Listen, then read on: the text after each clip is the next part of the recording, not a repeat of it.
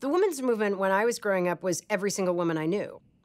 Everybody mowed lawns, everybody washed cars, everybody went uh, and cooked, and everybody went and cleaned, and everybody was a part of solutions. So it's not that women could only be teachers or nurses, although there were plenty of women being teachers and nurses. Um, but you didn't see the difference as being limiting. Your gender did not limit your opportunity. Gender was um, was just another part of who you were.